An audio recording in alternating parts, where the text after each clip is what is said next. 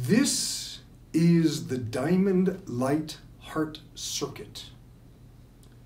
It is a vehicle to activate your heart center and energize your connection to expanded spiritual awareness. Now, we are not talking about the anatomical heart. We are talking about the energy center we call the heart, that is the place of love, truth, courage. It is the seat of the soul. And it is the connection to quantum consciousness and the spirit realms. The heart center is much, much more than we are taught in Western culture. While we speak regularly about following our heart or knowing what is true in our heart, we, do not, we are not really taught what the heart center is or how to work with it. I believe it is very important that we begin to acknowledge this heart center as being real and as a very powerful resource that can totally shift who we understand ourselves to be as humans.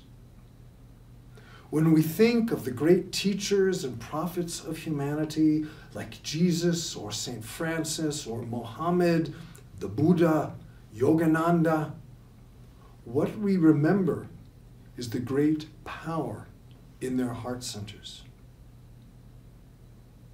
In many indigenous cultures, this understanding of the heart center is part of everyday reality. They know that all things are connected, and it is through the heart center that we are connected. The ancient Tibetans called this the jeweled fabric of the universe, of which every jeweled heart is an integral part. I heard a native elder recently say that if you are feeling lost and powerless, it means you have become disconnected from your heart.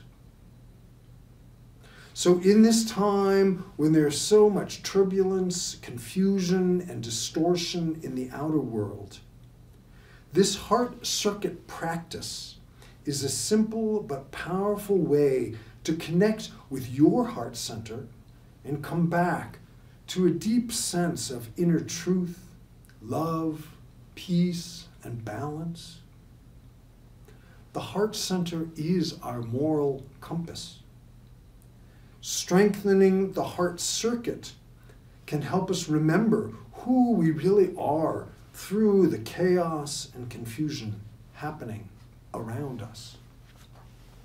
My name is Paul Temple with the Diamond Light Network.